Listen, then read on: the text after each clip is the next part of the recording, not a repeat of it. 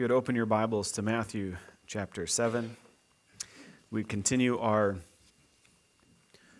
study in the book of in the Gospel of Matthew, and we will finish uh, looking at the, the Sermon on the Mount this morning.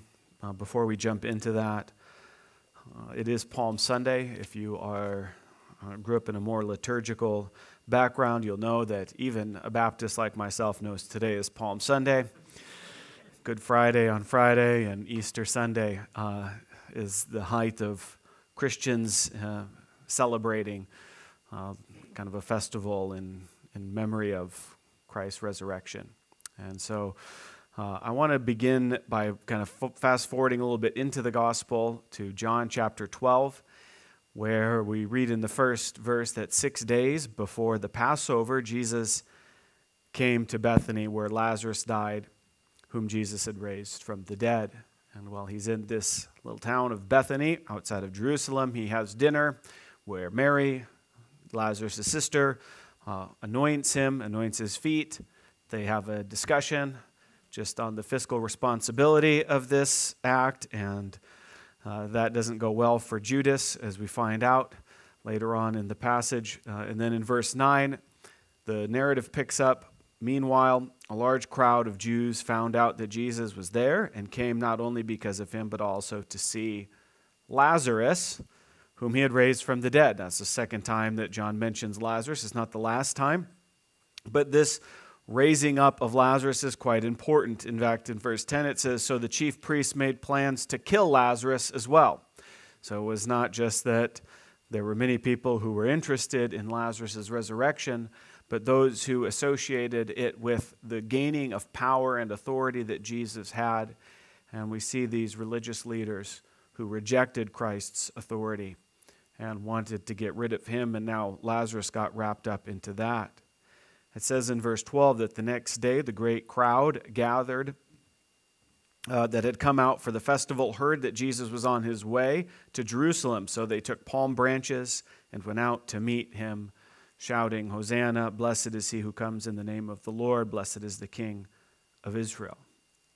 Then Jesus found a young donkey and sat on it, as it is written, Do not be afraid, daughter Zion, see your king is coming, seated on a donkey's colt. At first, his disciples did not understand all of this. Only after Jesus was glorified did they realize that these things had been written about him and that these things had been done to him. Now, the crowd that was with him when he called Lazarus from the tomb and raised him from the dead continued to spread the word. In fact, it says in verse 18 that many people, because they had heard that he had performed this sign, meaning raising Lazarus from the dead, went out to meet him. So the Pharisees said to one another, See, this is getting us nowhere.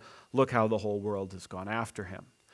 And so we find on Palm Sunday this celebration of that week prior to the Passover festival and to Jesus' death and resurrection, there is uh, things are going quite well for Christ and his ministry. In fact, if you were the disciples, you probably would have thought things are going great.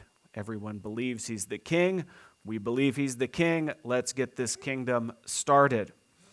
When we fast forward a little bit further, John 19, by the time we get to the end of this week, we find that Pilate, this pagan Roman who is stuck in Jerusalem, brings Jesus out having flogged him and uh, putting a crown of thorns on his head and mocked him, and he comes out with this verdict that he does not see Jesus as any kind of a political threat to Rome. In other words, this charge which is brought before him that he was going to have everybody follow him and that he was going to set up a kingdom to rival Rome, that Pilate did not see uh, that Jesus had managed to raise any kind of an army. Truth be told, his best friends had deserted him. He was there by himself. The religious leaders hated him and seemed to want to kill him. And so he would have just let him go. But we find that the religious leaders worked the crowd into a frenzy to the point that they chose a different person, Barabbas, to go free, and they allowed Jesus and demanded his crucifixion for breaking the Old Testament law claiming to be the Son of God. And so we see this pathway of Jesus coming into Jerusalem with great throngs and people's excitement and the, and the weekends with him by himself carrying a cross being executed. This is a, a challenging turn of events, particularly for those who would call themselves the disciples, and confusing. And I like how it says that they didn't even realize how God's word was coming fulfilled as it was happening. It wasn't until after his ascension that they realized that the kingdom of God is different than what they imagined it to be, and probably quite a bit better than what they could imagine to be. But the truth of the matter is, is that Jesus was, in fact, the king. That he told Pontius Pilate, I am a king. He, the religious leaders understood something, that he was not going to share his rule with them. And so we celebrate on Easter next week the resurrection of the king. And uh, that will bring us back to Matthew chapter 7, where we see Jesus giving what is often called the Sermon on the Mount. It's more typical. If I were the person writing the special little notes on what passages is called, I think I would call this the Sermon of Two Kingdoms. Because Jesus here is describing the kingdom of earth and the kingdom of heaven, and what his reign in the kingdom of heaven looks like. And so we come to the end of that sermon today. And before we do, let's just pause for a moment and, and ask the Lord's help. Heavenly Father, I thank you that you have laid before us your word, your eternal truth. And I ask that you would take our hearts and our minds and mold them in your likeness, that we would uh, come to a deeper, abiding faith in your name. Amen. As a point of review, Jesus is the king of this heavenly kingdom, and his desire is for us to be those who dwell with him in righteousness. And so a few weeks ago, we look at the Lord's Prayer. That Jesus is teaching us that in God's kingdom, you and I live under the rule and reign of the God who created us. That God will undo the fallenness of this world. In the meantime, we live in this fallen world, so having been belonging to God's kingdom, how do we engage, for example, with the fallen world? The fact that we see hunger and nakedness and all this other problem in the world and Jesus points us to the providence of God, that God will provide for his people. And we looked at that doctrine a couple weeks ago, the doctrine of God's providence. Last week we looked at how do we relate to one another, fallen creatures. So it's not just that we live in a fallen world, but we live as fallen people with fallen people, which pointed us to God's mercy, the doctrine of God's great mercy towards his people. And now we see in verse 13 that Jesus kind of concludes by saying, Enter through the narrow gate. For wide is the gate and broad is the road which leads to the kingdom of destruction. But small is the gate, and narrow is the road that leads to life, and only a few find it. Several years ago, when I was just out of high school, I had uh, come back to, yeah, it was a few years ago, not that long, 96. 96. The late 90s, you remember those? And uh, I went to community college at Skagit Valley, Skagit Valley Community College, and I took a class. I was somewhat interested in pursuing teaching and ministry, and so I took a class that was of great interest to me called Philosophy of Religion. It was a young teacher. She was uh, full of life, and, and she was a pretty good teacher, but she had just returned from India. She had spent time in India where she had converted to Hinduism. And so she was a Hindu, uh, but born in, in the West and a convert. And so she, we, most of the, the, the class that we did was kind of looking at and comparing all different world religions and essentially on how they're all very similar to one another. This is a common theme, I think, in, in academia today, is this idea that all people are basically religious and very similar we just read last week, we ended in verse 12 of Matthew 7 of the golden rule do unto others as you would have them do unto you. And so she kind of gave us this image, which was the foundation of the class, which is that all religions are kind of like people on a, on a mountain. And, and the theme or, or the image of God being in the heavens is, is that God resides at the top of the mountain. In, in the ancient world, certainly, uh, the Greeks followed this with Mount Olympus, where Zeus ruled over all the people. And that essentially all religion is is people working their way up the mountain. Now the those who are involved with Islam, they're kind of on this side of the mountain. They're working their way. And the Hindus are over here. They have all their different gods, and they're trying to basically do the same thing not kill each other, love their neighbor, you know, do good. And they're working their way up this way. And the Christians are over here in the West doing this, and the Buddhists over in the East are doing this. And we're all kind of doing different things and following different paths, but basically we're all trying our best to get towards and come towards God. And at the end of all things, we all kind of come to that same place at the very top. That was the, the theme of the class. And I've often thought about that, and when I was reading this this week, uh, it, it seems to me that Jesus seems to paint a different picture. That he kind of inverts this mountain that I think would be a common way that we think about religion today. In fact, I think this is a criticism of religion in general, that Jesus is highly critical of the religious in this ending section, which is why I think it ends with him kind of in a juxtaposition with who? The religious leaders. That Jesus was something different. Uh, I've mentioned several times that uh, I once hiked to the bottom of the Grand Canyon, a great feat uh, that I'm very, very, very proud of.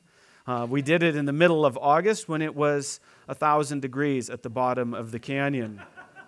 There was only a tiny little stream where there was a little tiny little bit of life at the very bottom of this canyon, and it was filled with tourists who had made a terrible mistake.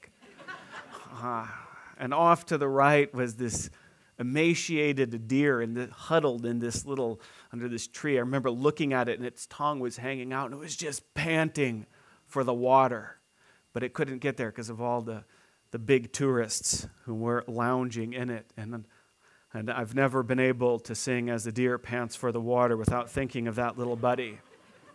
Um, I often wonder is that how my heart pants after God and His Word? Am I thirsty? But this, when you go to the Grand Canyon, what they tell you is to be very careful it's very easy to get to the bottom, and it's very hard to get out. And most people, when we hike a mountain, you do all the hard work at first, and then the next day it's easy coming down. But it's, it's, it's reversed. It is a broad road that goes to the bottom, and it is a narrow road which comes out. And it's best if you have a donkey, uh, is what I found out.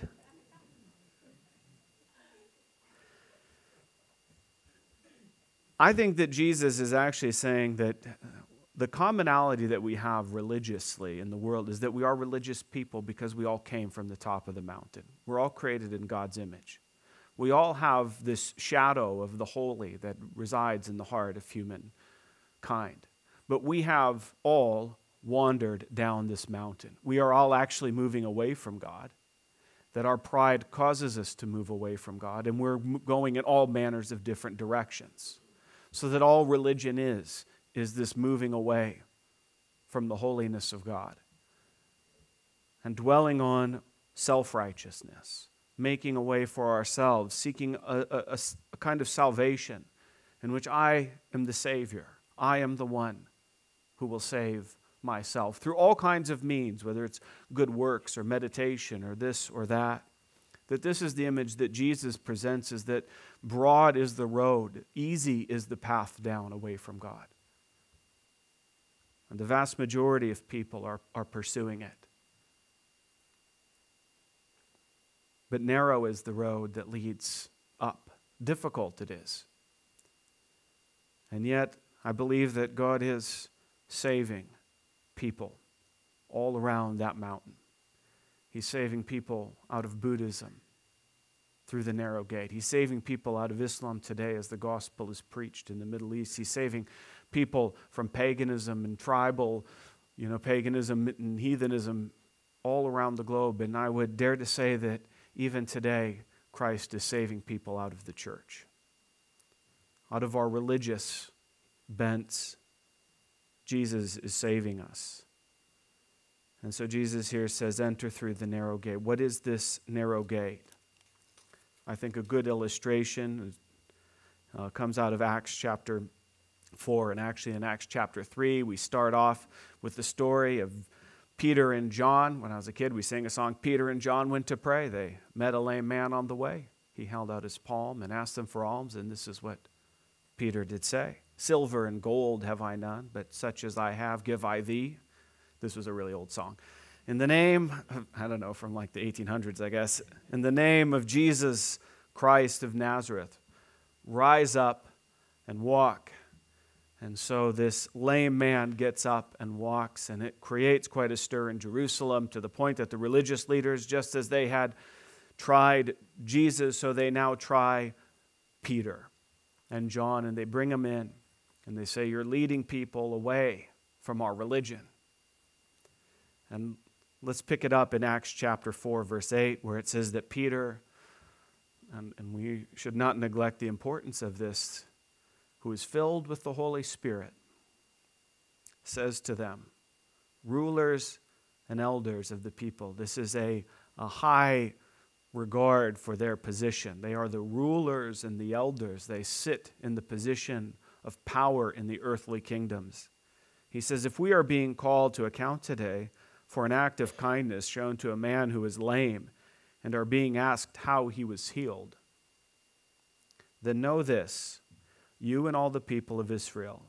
It is by the name of Jesus the Messiah, Jesus Christ of Nazareth, whom you crucified, but whom God raised from the dead, that this man stands before you healed.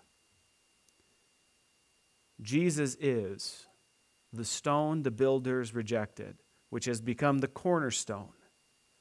Verse 12 says this, and this is what Peter has to say to those religious people. It is what he has to say to us today.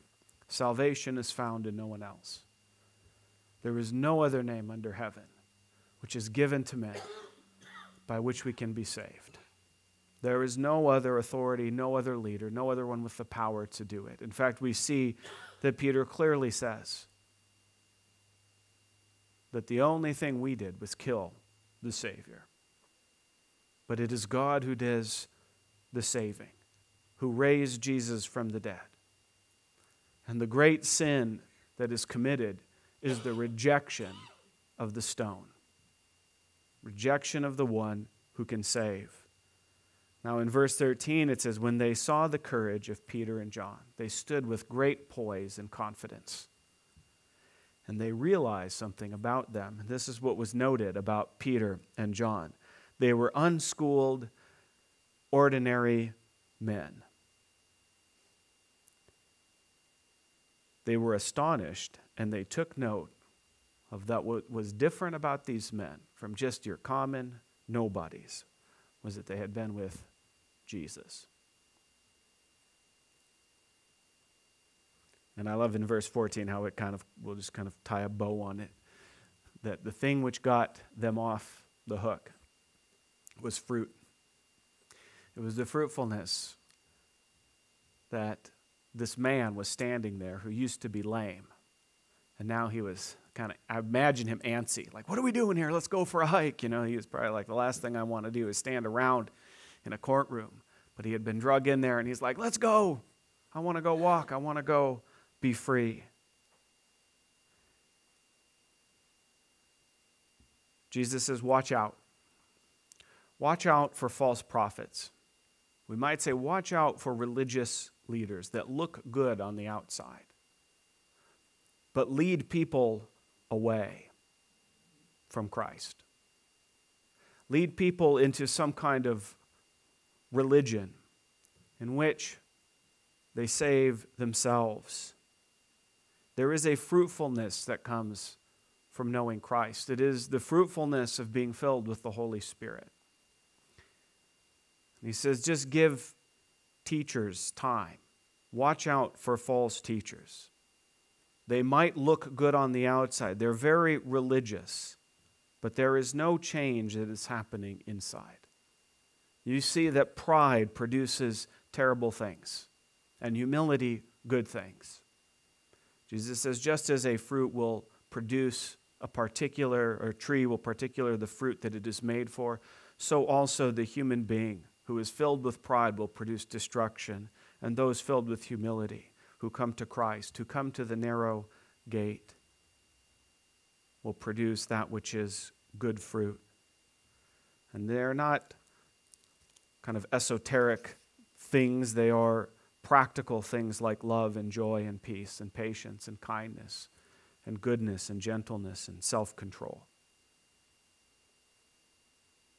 In fact, there is a further warning Jesus gives us in verse 21 where he says, Not everyone who says to me, Lord, Lord, will enter the kingdom of heaven, but only the one who does the will of my Father who is in heaven. Many will say to me on that day, Lord, Lord, did we not prophesy in your name, and in your name drive out demons, and in your name perform many miracles? And I will tell them plainly, I never knew you. Away from me, you evildoer. I don't know if you've ever read this passage with it at the deep kind of fear. Anybody ever have doubts about their own life? I think, well, if the people who preach and the people who perform miracles and the people who exorcise demons can't get in, then what about me? How assured can I be about my religion? And I would say to you, you shouldn't be assured about your religion. It's the very point that Jesus is trying to make here. What Peter and John were crystal clear on is that what saved them was that they were with Jesus. All of their assurance came from what Christ did. That's why Paul, you know, talks about being one who preaches in 1 Corinthians 9. And he says, you know, everybody is running the race, and you run the race in order to win the prize, which is which we'll speak to in a little bit, which is which is heaven itself. And he says, The reason I run and suffer is because I don't want to be disqualified, having preached the good news to everyone else but not received it myself.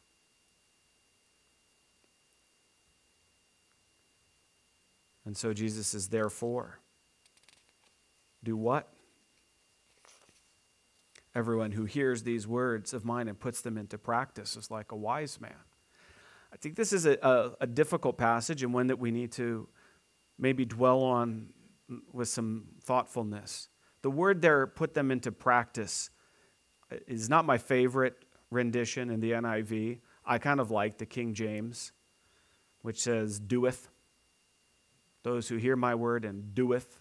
But that word is really a word that can be translated both to do something or to make something. But it, it, it, it involves something deeper than just simply practicing a religion.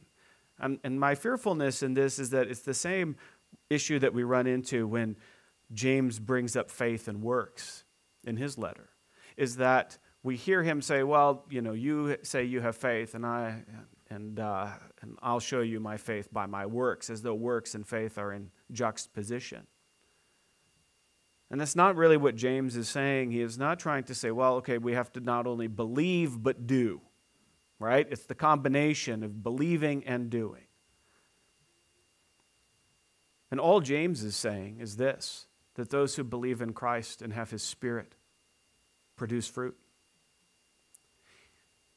And that your assurance is not in the fruit, it's in the one who produces the fruit in your life. And so, therefore, everyone who hears the word and puts them into practice is like what? Is like a builder who digs down and finds a good foundation, a rock. What is that rock? What is that thing which gives us assurance, which holds us up? What is that thing which holds up Noah in the time when destruction came on the world and yet, and yet held him up, buoyed him? What is this ark? What is this stone that the builders rejected? It's Christ. In fact, we actually see this in Luke uh, chapter 9, where Jesus is asking the disciples, Who do people say that I am? And we know that Peter answers that you are God's Messiah, that you are the anointed one, that you are the Christ. And in verse 21, Jesus strictly warns them not to tell anyone. Why? Well, because they didn't really understand it. They didn't really understand what this meant, and they wouldn't really understand the kingdom of God until after the resurrection. And he goes on to say that the Son of Man must suffer many things and be rejected by the elders and the chief priests and the teachers of the law, and he must be killed and on the third day raised to life. And then he looks at them and says, Whoever wants to be my disciple must deny themselves and take up their cross daily and follow me. For whoever wants to save their life will lose it, but whoever loses their life for me will save it. What good is it for someone to gain the whole world and yet forfeit their very soul? When Jesus commends us to building our life on something which is the rock, it is that we would put our faith in Jesus Christ and his work. We don't have to go around and say, well, you know what? And this is, I think, one of the dangers is, is this idea of, well, I believe, and, and by saying the words of Jesus, or, you know, I said a sinner's prayer, or I did something, in the past, that's sufficient. Uh, or I'm a parti- part of a church that is, you know, believes in Jesus and has good theology, and that's sufficient enough. That's not what Jesus is saying here. In fact, it's on the heels of him saying, You can go to one where you see miracles happening, that sings great praise music. The real question in your heart is do you love Christ, the person himself? Not just his teaching, not just his religion, but him.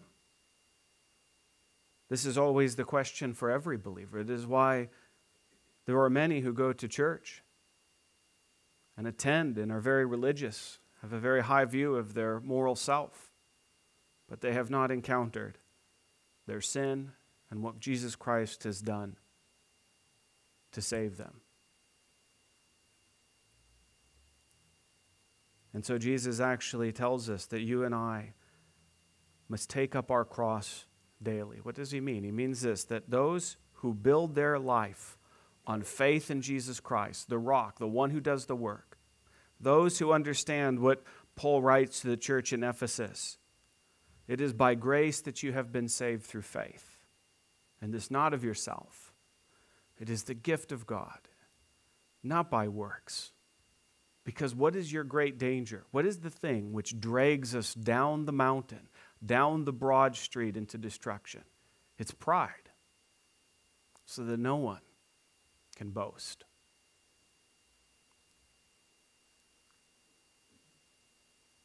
So, what happens? Well, the rains come down. What happened to Jesus? Well, on, on Palm Sunday, things were great. What was raining down on him was praise and adoration and large crowds, a big parade.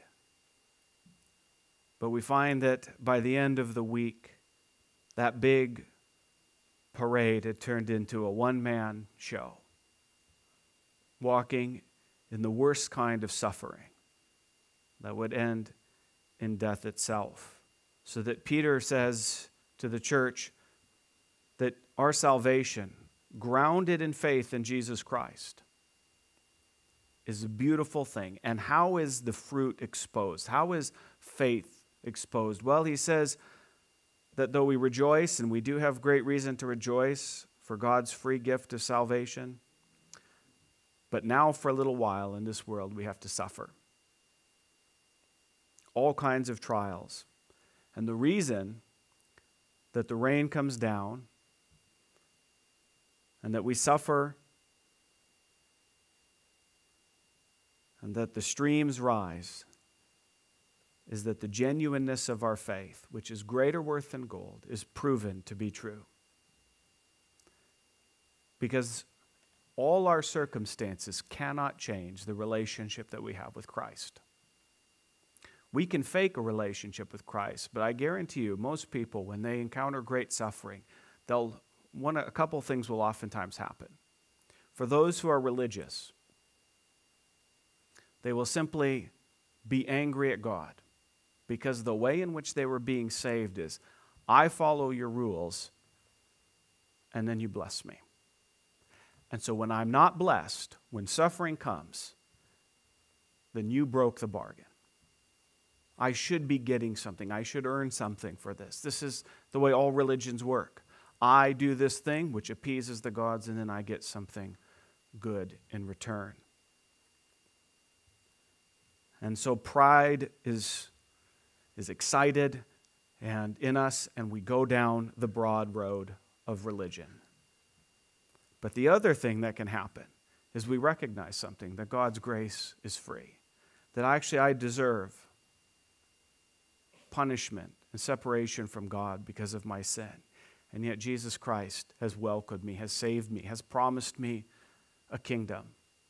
And so I enter that suffering and that difficulty with a confidence that Jesus Christ both raised Lazarus from the dead, was himself by God raised from the dead, and that I have a future kingdom that far outweighs any of the suffering today. And so then my faith and my trust is built up according to Peter. And all of this is founded not in anything we do, but in a relationship that we have. Verse 8 though you have not seen him, you love him. And even though you do not see him now, you believe in him. You trust in him. You believe that what he says is true. You believe that you are the sinner that he calls you and that you are the saint that he makes you by the blood that was shed for you. You allow that work of the Holy Spirit to be in you so that it humbles you and it actually produces fruit. And that fruit does not make you proud, rather, it continues to point you back to the grace of God and how much greater He is. Which is why real gospel teaching will always raise up the name of Jesus. And remember that you and I are ordinary people. And the best thing that we could ever say about us is that we were with Christ, that we responded to his grace, that when we get up in the morning, that it is he who is the first on our minds. And when we go to bed at night, he's the last who we speak to. He rules over our hearts through his Holy Spirit. He makes us penitent. If you find sin in your life, it might cause you to doubt Am I really a believer? But it's not the sin which should cause you to be assured or not assured of your salvation. It is the fact that Jesus has forgiven it again and will forgive it tomorrow. And if you can hold on to that, you will have real assurance and you will also see that you won't have to talk about your faith, that it will produce the kind of life that reflects God's goodness. Jesus is different. I want to just close with a, with a thought on uh, kind of an illustration for us to think about. Uh, John Bunyan famously wrote uh, Pilgrim's Progress, probably one of the, the greatest selling books of all time. And in it, Christian, who's the main character, is um, been given salvation. He has come through the narrow gate. It's called the wicket gate. And he comes through this little gate where he finds that Jesus is willing to take off the burden of sin, which, which weights him down, put clothes of righteousness on him, gives him a, a parchment, which is the word of God in his hand, and now sets him on this journey between his salvation and the celestial city, this resurrected kingdom. And on the way, he's walking down this path, and these two guys join him, both of them dressed like him uh, but one is named formalist and the other hypocrisy. They represent those who are in the church, who follow the religion of Christianity and believe that it is in their following the religion that makes them acceptable to God. And so Christian challenges them. He says, Wait, you didn't come through the narrow gate. You didn't come to this place by faith in what Christ has done for you, but rather in your own works. And they said, What's the difference? we end up at the same place. How we got here, we're on the same road. And to some degree, Christian at that point goes, I don't, I, I guess I don't know. Like I, you know, I, we're all going that same direction. You guys are going your way, I'll go my way. Until they reach a hill, which is called the hill difficulty. And, and I'll just read a little section. He says, I beheld then that they all went on until they came to the foot of the hill difficulty. This is the rain that Jesus is speaking about in his parable. at the bottom of which was a spring. There were also in the same place two other ways beside that which came straight from the gate. One turned to the left hand and the other to the right hand at the bottom of the hill. But the narrow way led right up the hill, and the name of the going up side of the hill is called difficulty. And what's described then is that the two men, formalists and hypocrisy, they both look at the situation and they say, let's take the easy path. Let's take the broad road. It goes around the hill, and we'll get to the other side the same way. This is the situation for many who are very religious. They look to God like the people on the day on Palm Sunday, and they say, You're the king. We want to follow you. You're going to make life better for us. But to follow Christ is to follow him up a difficult hill, a hill which involves suffering. And we're told that in Bunyan's story that Christian looks both ways and he decides, I'd rather stay true to the path. I'd rather go up the hill of difficulty now and get to where I'm going. And formalists and hypocrisy, they go the other ways and they fall into this, they get lost in this woods, and this other one falls into this pit, and, and they both come to ruin. And the conclusion that Christian reaches, he says, is Shall they who wrong begin yet rightly end? Or they that, sorry, shall they who wrong begin yet rightly end? Shall they at all have safety for their friend? No, no. In headstrong manner they set out, and headlong will they fall at last, no doubt. Our assurance does not come in the path that we are on, it comes in the way in which we get here, that we've entered through the narrow gate. By faith in Jesus Christ, we have confidence that we will reach the end. Though it involves difficulty, though it involves a challenge, moving uphill, following Christ, taking up our cross daily, if we have come to this place by faith in Jesus Christ, then we will enter the resurrection in that same way. Jesus is different. He's different from the religious leaders, he's different from any religious leaders in the world. And so we're called to put our trust in him today. And I would just assure you that if you have asked him for your forgiveness of your sins, if you've humbled yourself before him, then you have absolute assurance that when you die, you will be welcomed in. But if you are going your own way, if your life is about you, and you pay little attention to the rock, and it's on the basis of your own works and your own goodness and your own righteousness, then there is a warning here that Jesus gives us graciously and kindly to turn from that, to humble yourself, and allow yourself to come before Christ and receive freely his grace today. Let's pray. Heavenly Father, I thank you for your word this morning. I pray that each and every one of us would feel a, de- a deep assurance of that love. I pray for a spirit, Lord, of humility to come before you each day and to recognize our need for you. I pray that you would, through your Holy Spirit, draw us close to you and continue to make us your people. In your name, amen.